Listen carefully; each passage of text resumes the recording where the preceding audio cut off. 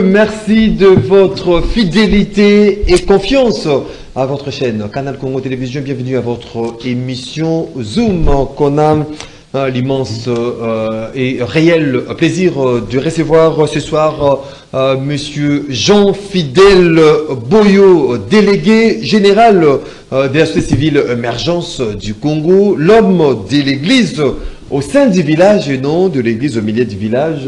Jean-Fidèle Boyo, bonsoir et bienvenue. Euh, bonsoir, Monsieur Maxime, merci beaucoup euh, pour m'avoir invité sur ce plateau. C'était par euh, réclamation hein, de, euh, des téléspectateurs. Vous avez pris euh, l'émission Zoom au, au profit des rendez-vous de auditeurs. Non, non plus, c'est le problème de, de question du temps. Et comme vous le savez, euh, nous sommes église au sein du village. Euh, nous sommes là pour servir le village. Nous disons devant l'ouragan de, l'histoire, fruit mûr ou pas mûr, tout tombe. Devant la circonstance politique actuelle, il est pratiquement impossible que l'église soit au milieu du village. C'est comme ça, nous disons que la philosophie actuelle, c'est la philosophie pragmatique, c'est l'église au sein du village que je défends comme philosophie. L'église au sein du village, Jean-Fidèle Boyo, avec qui euh, nous allons en passer au crible les différents sujets d'actualité dans notre beau et cher pays, la République euh, démocratique du Congo, le pays euh, de Patrice Emery euh, Lumumba. Alors, tout d'abord, commençons par la remise et reprise qui s'est effectuée le week-end dernier à Kinshasa. Gentini Ngobila a passé le commande de la ville province de Kinshasa à Daniel Bumba Lubaki avec son colistier Edi Iyeli euh, Bolangui. Est-ce il était temps que ces euh, gouverneurs de province entrent en action, surtout pour notre capitale euh, qui est Kinshasa? Sur le plan papier Maxime, je peux affirmer ici que le gouverneur et les vice-gouverneurs sont capables de faire quelque chose parce que nous voyons leur passé, leur capacité scientifique, euh, leur manière de vivre dans la société, parce que ce sont nos frères qui, euh, qui vivent avec nous ensemble. Là, avec toute honnêteté, euh, nous disons ils sont capables. Mais maintenant, la question de savoir par rapport au système, sont-ils capables de relever les défis? Je dis euh, non plus. Il y a plusieurs défis. Par, hein, par défis rapport, à- à par rapport au système, Maxime, excusez-moi de rappeler à, à notre peuple, nous avons la Constitution. La Constitution congolaise, dans son article 2, stipule que la ville de Kinshasa à part et nous, dans- dans- en d'autres termes, on dit en République démocratique du Congo, nous avons la ville de Kinshasa et 25 provinces. Oui, oui. Et là, dans cet article, la Constitution nous dit encore que Kinshasa est une province. C'est-à-dire que Kinshasa a deux facettes. Kinshasa comme ville et Kinshasa comme province. Mais par défaut, nous avons l'habitude d'appeler ville-province De de Kinshasa. Mais sur le plan constitution, on ne fait pas le lien. Oui, oui. Il n'y a pas un lien entre ville et province non plus. La constitution n'accorde pas le lien. Est-ce que nous comprenons pourquoi la constitution n'accorde pas le lien? Parce que aujourd'hui, nous prenons Kinshasa comme ville. Est-ce que Bumba a les compétences de gérer Kinshasa comme ville. Parce que lorsqu'on dit Kinshasa comme ville, on fait allusion aux institutions de la République.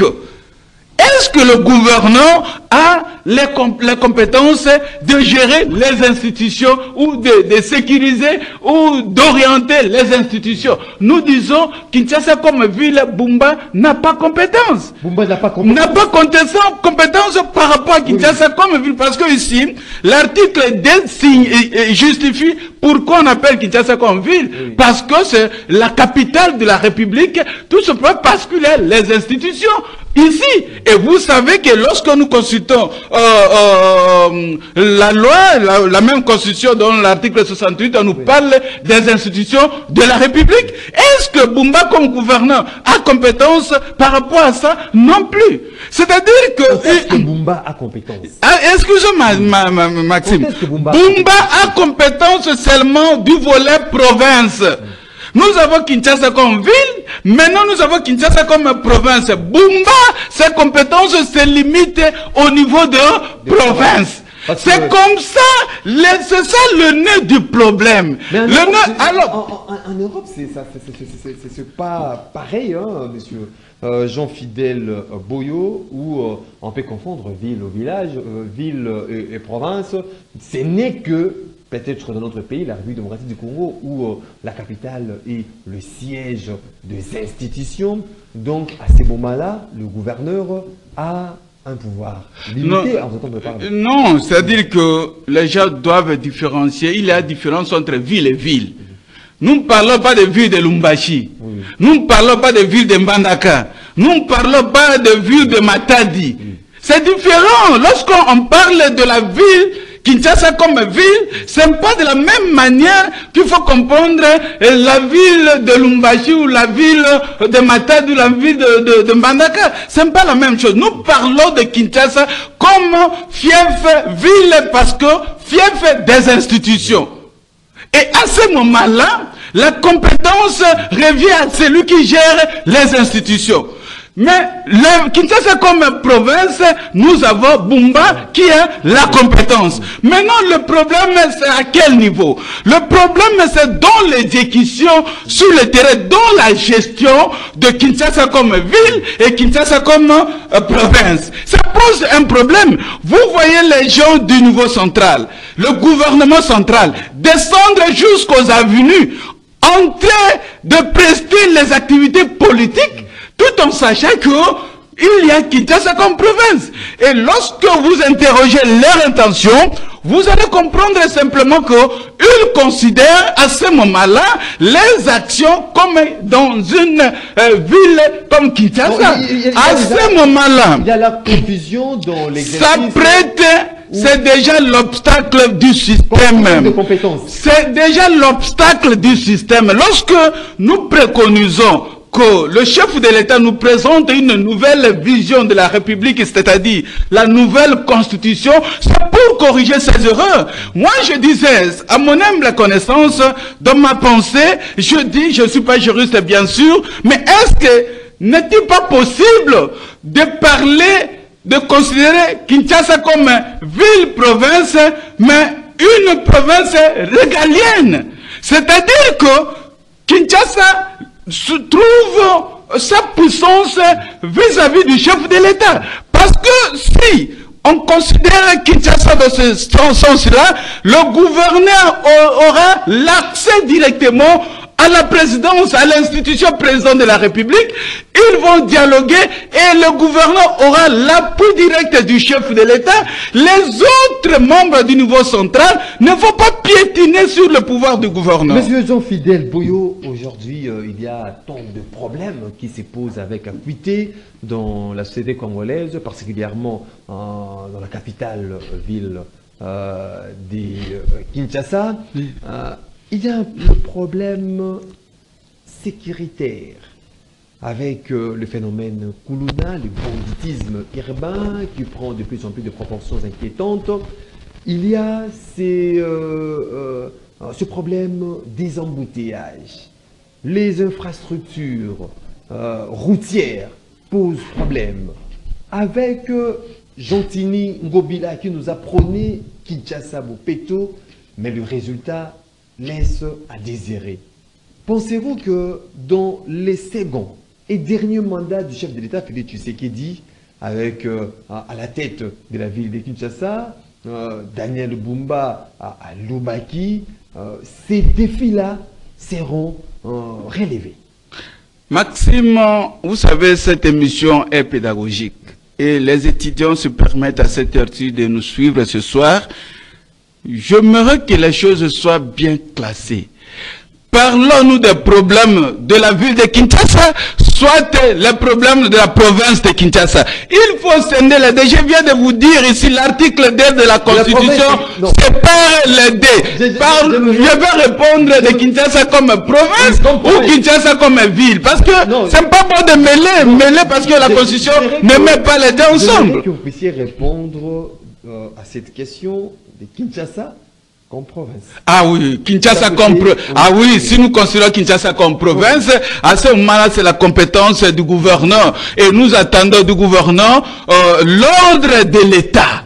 Il faut qu'il ait l'ordre de l'État. Parce que les embouteillages de Kinshasa, pas parce que nous avons assez de véhicules. Non plus au contraire. Demain, nous aurons encore plus de véhicules que possible. Parce que chacun veut se développer et le développement commence par la famille. C'est-à-dire que le nombre aujourd'hui de véhicules euh, euh, ne sera pas le même par rapport à cinq ans plus tard. Donc, Maintenant, qu'est-ce qu'il faut faire?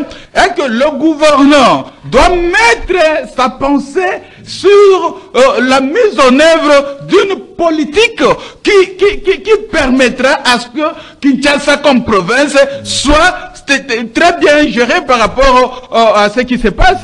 Bon, il faut aussi reconnaître, Maxime, il y a un problème de volonté politique.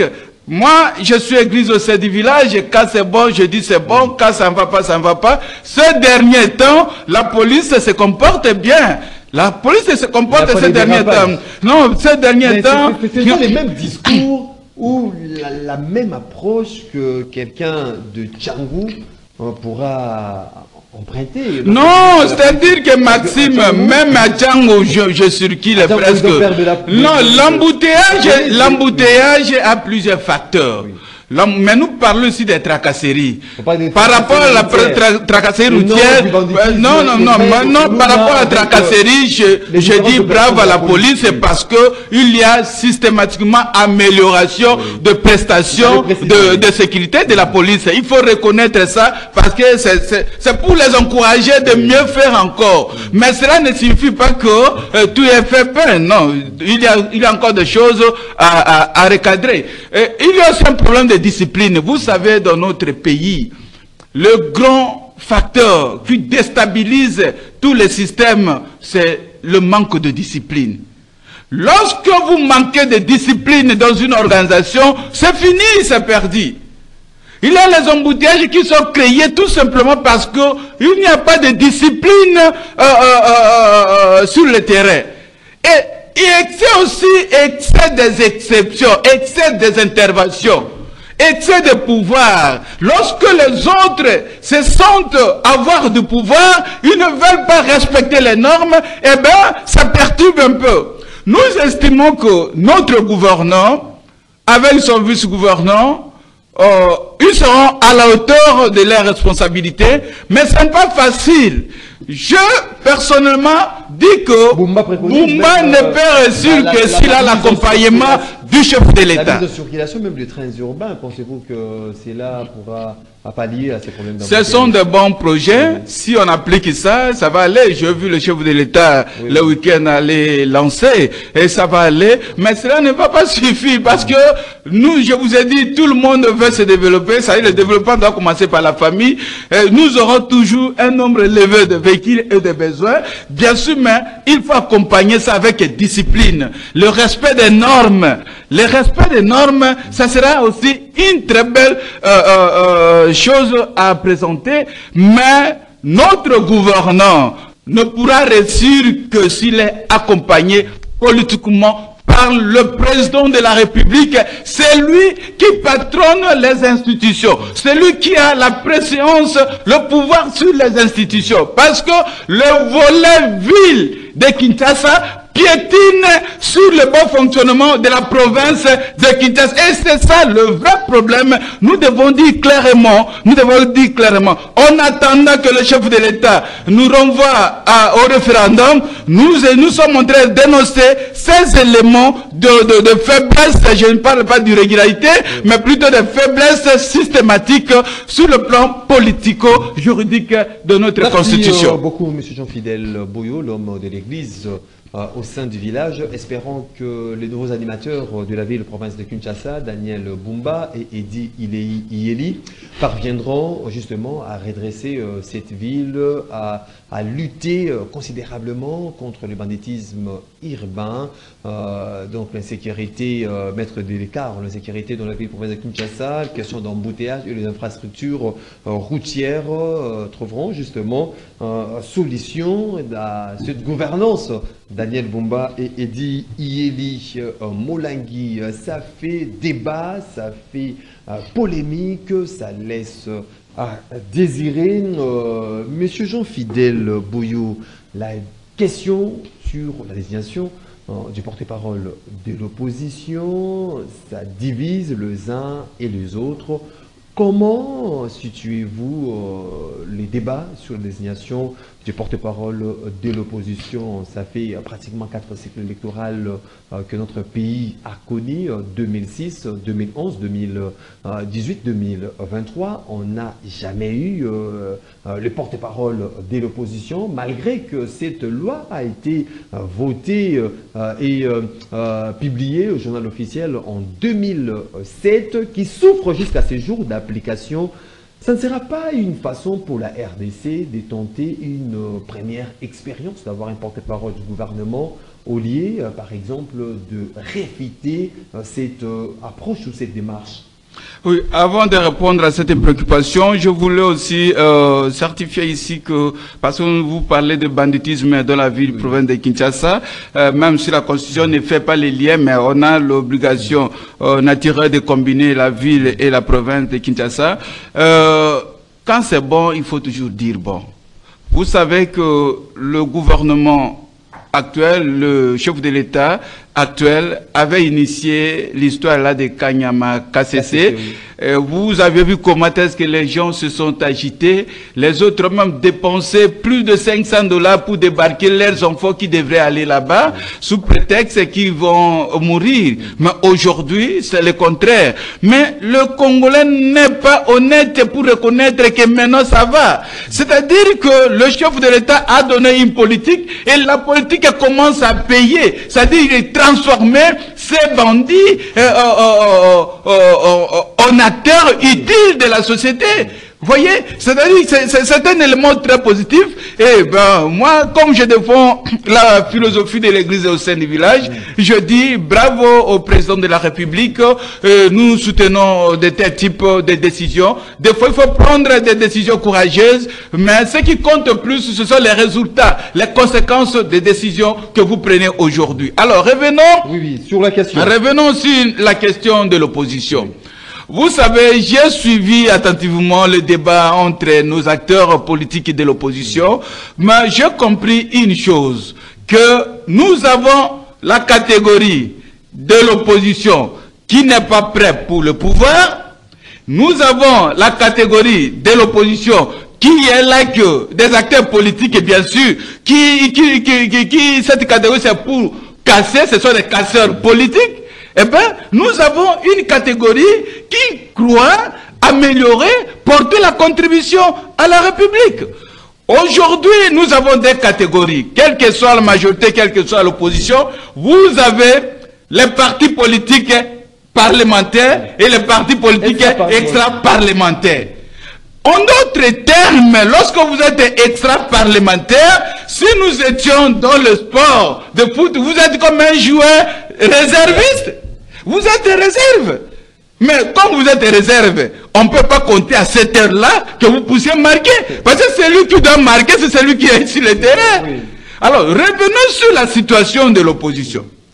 La, la, loi stipule que le, le règlement intérieur de l'opposition sera adopté par les députés, les élus de l'opposition. En d'autres termes, en d'autres termes, la loi donne ce pouvoir exclusivement aux partis politiques euh, euh, parlementaires. Tellement que ce sont eux qui vont... C'est-à-dire que les partis politiques parlementaires n'ont pas l'obligation d'aller consulter les non-parlementaires. Ce n'est pas une obligation. Mais pour l'intérêt de, de parce que... Peut-être pour, des, de, pour des raisons de cohésion, parce que les partis politiques, ils n'ont pas d'union. Pour les partis politiques, c'est la cohésion qui qu'il faut dire. On ne peut pas parler de, l'unité dans les partis politiques. Là, c'est la cohésion. Eh bien, pour des raisons de cohésion politique, ils consistent les autres. Mais lorsque vous consultez les autres, ils refusent. Mais continuez parce que ce qui est dit par la loi, il faut le respecter. Nous sommes dans un pays d'état de droit. Qui dit pays d'état de droit, c'est le respect strict de la loi, des textes, des normes.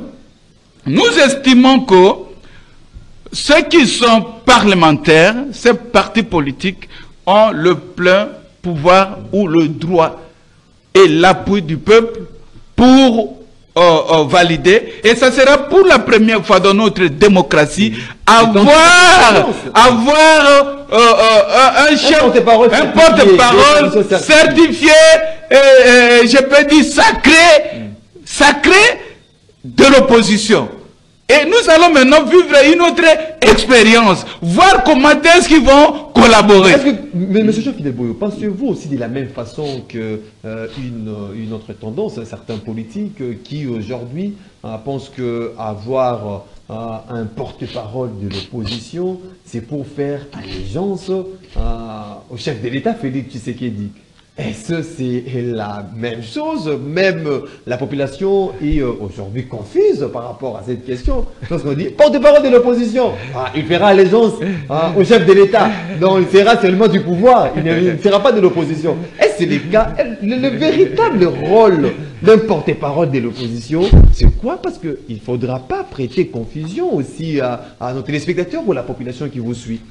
Vous savez, la loi est là pour réglementer les choses. Et lorsque la loi a dit qu'il est un porte-parole, c'est juste pour organiser l'opposition. Jusqu'à la preuve du contraire. Sa crainte d'être contredit, aujourd'hui l'opposition n'est pas organisée en République démocratique du Congo. Non plus. L'opposition n'est pas organisée. Et lorsque vous n'êtes pas organisé, vous ne pouvez pas constituer une force. C'est ça la vérité. Mais le problème ici, ce sont les écoles politiques de nos politiciens. Je vous donne un exemple simple. Je sais que les autres vont lire, vont, vont, vont rire. Eh bien, euh, les autres vont faire des lectures, lire ce qui se passe euh, dans, les réseaux. Je prends le cas d'un des politiciens. Je pense que euh, de, de, de, de euh, mon vieux Franck Diongo, je me citer directement pour ne pas aller dans deux chemins. Exilé politique. Exilé politique. J'ai suivi Franck Diongo attentivement sur sa dernière déclaration, sa sortie pour annoncer qu'il est exilé. Mais j'ai compris une chose, et je vais rappeler eh, eh, eh, au peuple nous avons l'histoire qui nous relate, qui nous relate l'histoire de, de, du bois, le bois, Ngoumala, avec un chasseur, pendant que le boa était coincé sous l'arbre, mais le chasseur est venu soulever l'arbre pour faire sauver le boa. Et en sortant, le boa dit, mais je, je fais, je dois manger, je n'ai pas autre chose à manger si ce n'est que vous. Qu'est-ce que je voulais dire? Franck Diongo dit ceci, Mobutu l'a laissé à Makala. Kabila le père est venu intervenir, après Kabila le père l'a laissé à Makala. Kabila le fils, lui l'a laissé aussi à Makala. Maintenant Félix vient pour le sauver de Makala, mais aujourd'hui, Franck Diongo doit politiquement vivre. Mais il doit vivre avec quoi? Il faut bouffer la politique de Félix Tshisekedi. En d'autres termes, non, pour Franck... vous, n'était pas reconnaissant. Non, ce n'est pas, pas le... Il faudra qu'il y ait reconnaissance lorsqu'il s'agit de la gestion ou de la gouvernance du pays. Non, c'est-à-dire que le problème de Franck Diongo, ce n'est pas le problème de reconnaissance. Le Franck, Franck Diongo est dans la catégorie des politiciens qui ne sont pas prêts pour diriger. Franck Dongo est dans la catégorie des politiciens casseurs. Lui, il est là que pour casser. Il est là que pour casser. Pour casser. Lui, c'est ça sa politique. Donc, D'accord, de oui, France. oui, donc lui, lui s'est cassé, lui s'est cassé, Franck Diongo s'est cassé. Et ça, c'est la première erreur politique de Félix Tshisekedi. L'UDPS doit aussi faire la lecture de sa politique actuelle par rapport à la réalité. Oui, l'IDPS, c'est un parti de masse, mais aujourd'hui, l'IDPS doit s'interroger, est-ce que notre philosophie politique s'adapte à la réalité? Est-ce que notre philosophie politique de, de, l'IDPS peut nous garantir de pérenniser le pouvoir, garder le pouvoir le plus longtemps possible C'est ça, c'est très important. Et ici, j'interpelle euh, euh, le secrétaire général de l'IDPS, Augustin Kabouya. Pour moi, j'estime que euh, vous êtes le meilleur secrétaire général, euh, sauf euh, appréciation des autres. Mais moi, j'estime que vous êtes le meilleur des secrétaires généraux. Il faut tenir compte de ça. Posez-vous des questions philosophique, vous dites sur la philosophie politique de votre parti. Parce que vous avez sauvé Franck Dong, aujourd'hui Franck Dong c'est un casseur, il veut à tout prix consommer votre politique. C'est un exemple parce que euh, il faut de prendre un exemple, euh, donner une leçon aux autres, de comprendre, et nous pensons que euh, l'opposition ça a le droit et l'obligation de s'organiser pour avoir un porte-parole de l'opposition. Nous attendons ça. Euh, Kabound, euh, Jean-Marc, Même Kabila. même Kabila. Et tout ce monde sont, sont des réservistes politiques. Donc, Ils sont des réservistes politiques. Ils ne- Ils paient ou ne pas, c'est pas obligation, c'est pas aussi leur droit parce que ceux qui vont valider, ce sont les Bon, partis ce- Ils n'ont parlementaires. pas ce pouvoir de bloquer la machine. Ils ne peuvent pas, ils ne peuvent pas, mon cher. La loi dit, la loi fait allusion aux partis politiques parlementaires. La loi ne parle pas d'extra-parlementaires. Et puis vous savez, celui qui a initié cette loi, c'est un opposant aujourd'hui. C'est ça là. Et ils s'opposent même. Mais lui-même, il se contredit. Il ne peut penser qu'il sera là le plus longtemps possible, mais les enjeux l'ont emporté. Aujourd'hui, il commence à contredire même sa pensée maîtresse. Nous disons non. Mon frère Sanga, il faut, vous devez vous assumer. Vous êtes hors parlement, vous êtes extra-parlementaire, vous n'avez pas droit, et c'était ça votre conception. Aujourd'hui, votre conception, vous devez la respecter. Vous savez, à l'opposition, tout le monde peut contredire ça, sauf Sanga. Sanga n'a pas le droit de contredire ça. Sinon, il va contredire sa pensée maîtresse. Ça, c'est son écriture. Il ne peut pas contredire ça. On nous signale. Il doit s'assumer. On nous signale, on est euh, déjà presque à la fin de cette émission. Vous aurez euh, peut-être euh, trois minutes justement pour chuter avec euh, ces derniers points concernant le volet sécurité dans notre pays. La situation reste alarmante. À l'Est, on continue à compter des morts. Monsieur Jean-Fidèle Boyo, hein, est-ce un dialogue franc entre acteurs politiques, un dialogue sincère pourra résoudre ces problèmes de l'Est ou bien que le chef de l'État puisse revoir euh, sa mesure exceptionnelle, celle de l'état des sièges décrété au Nord Kivu et euh, en Ituri. Vous savez, Maxime, je toujours dit avec toute sincérité, selon mes analyses philosophiques, je me suis rendu compte que ce que nous devons faire premièrement, c'est lutter à ce que nous ne puissions pas perdre la portion de notre terre à l'est de la République démocratique du Congo. Nous devons lutter pour remettre nos frères et sœurs de leur village œuvrer comme il faut. Ça, c'est un devoir pour chacun de nous. C'est comme ça que nous soutenons les, les nous soutenons les FARDC, nous soutenons euh, les services de sécurité pour l'intérêt national. Mais chaque Congolais doit retenir ceci. Avec les minéraux que nous avons, nous avons l'eau, nous avons la forêt, nous avons, nous avons, nous avons tout ce que Dieu nous a donné. Nous sommes enviés par le monde. Nous n'aurons jamais la paix totale. Ça, c'est ce que je vous dis. Mais euh, Alors, qu'est-ce qu'il faut- Mais- cette paix. euh, Mais non, maintenant avons pour avoir ça, j'ai déjà proposé, même si apparemment on n'a pas encore tenu compte de ça, nous devons développer l'économie militaire. Les grandes nations sont en train de développer plus l'approche de l'économie militaire. Il faut développer, regardez la Russie, regardez les, États-Unis, regardez la France. Vous comprendrez que signifie l'économie militaire. Nous devons développer ça parce qu'on n'aura jamais la paix totale. Avec tout ce que Dieu nous a donné, nous devons défendre ça. En même temps, nous devons aussi produire en interne. Il ne faut pas compter de l'extérieur. C'est là où je demande au président de la République et chef de l'État de, faire tout pour matérialiser la politique du, revanche du sol sur le sous-sol. C'est la meilleure politique. Et si nous arrivons à atteindre cet objectif, les choses vont évoluer autrement. Il ne faut pas plénicher, mais il faut plutôt réfléchir.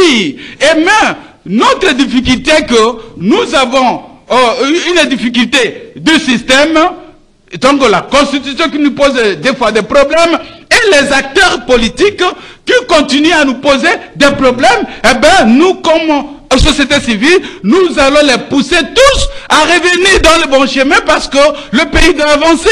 Notre pays n'est pas à vendre et nous devons lutter. C'est un combat, c'est une compétition parce que le monde est compétitif. Si on veut devenir puissant, il faut, il faut pas chercher à devenir champion sans compétition. Non, on ne peut pas être champion sans compétition. Il faut battre Rwanda, battre tous les adversaires, battre, battre. Après, on dit oui, ça c'est le Congo de Lumumba. Nous avons senti qu'il y a quand même les champions dans ce pays. Le Congo n'est pas à vendre. C'est sous ces mots que nous mettons un terme à cette émission. Mesdames, Messieurs, on a eu l'immense et le réel plaisir de recevoir pour vous ce soir euh, M. Jean-Fidèle Boyo, délégué général euh, de la société civile émergence euh, du Congo, l'homme de l'Église au sein du village. Je vous dis merci.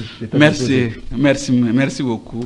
Vous étiez nombreux à suivre cette émission. Je vous dis merci de votre sympathique attention. Une émission réalisée par euh, Moro Njambe. Bruno Nzingete du côté de la régie, euh, Marité Godot à la prise de vue, Doudou Montiri à la production. Je vous retrouve euh, très prochainement pour parler au Congo. Ça sera avec le même plaisir. D'ici là, portez-vous bien et bonne évasion chez vous.